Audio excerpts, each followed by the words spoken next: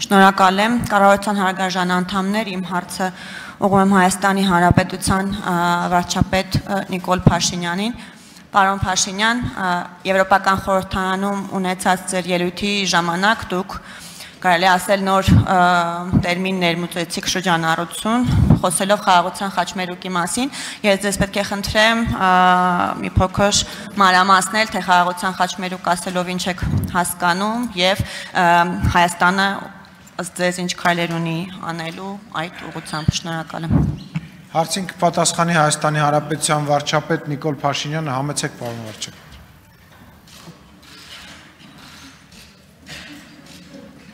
Շնորհակալ եմ հարցի համար, Տիկին Ջուլակյան, գործնականում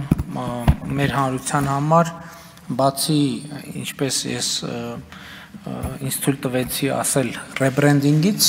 ըստ էության ոչ մի նոր բան չկա, բայց կարևոր էր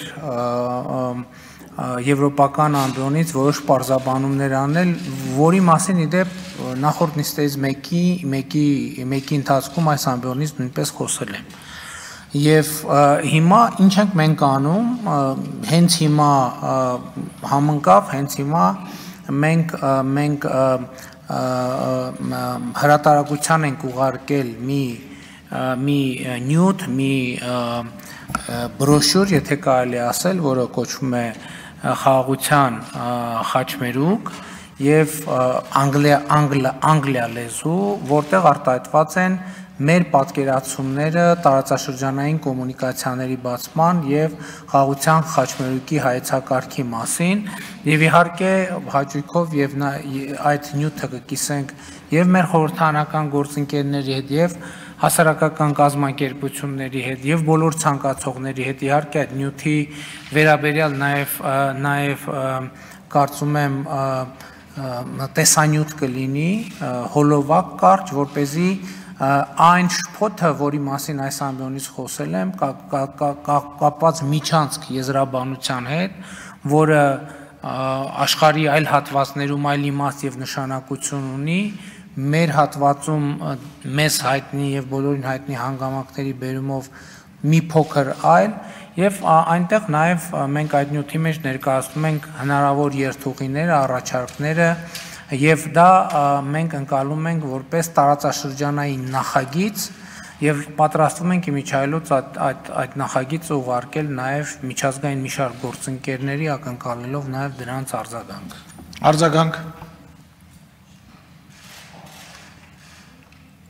Շնորհակալ եմ։ Իրականում ես շատ կարևոր եմ համարում այս ռեբրենդինգը եւ տարածաշրջանի կապուղիների ապա շրջափակումը հենց խաղաղության խաչմերուկ կոչելը, հաշվի առնելով այն հանգամանքը, որ եթե մենք ուզում ենք իրապես խաղաղություն եւ կայունություն հաստատենք տարածաշրջանում, մեկուսացված ճանապարհները խաղաղության չեն բերելու եւ հակառակը դրան հակառակ բաց ճանապարհներն են բերելու խաղաղության հետեւաբար կարծում եմ այս անվանումը ել ավելի դիպուկ է նկարագրում այն նպատակը որին մենք ձգտում ենք իսկ այն ծրագիրը որը դուք արդեն պատրաստել եք հուսամ արդեն շուտով կլինի հրապարակված եւ նաեւ բոլորս հնարավորություն կունենանք դրան ծանոթանալու շնորհակալ եմ Շատ լավ, այո, էլի նաև ինչպես Եվրոպական խորհրդանի հենց ամբիոնից ասացի, հենց հայկական խաչմերուկ նախագիծը մի փոքր վերաձևակերպել ենք, ընդ որում մենք փորձ ենք արել, փորձ ենք արել բոլոր ատրիբուտներով ոչտել նախագիծը,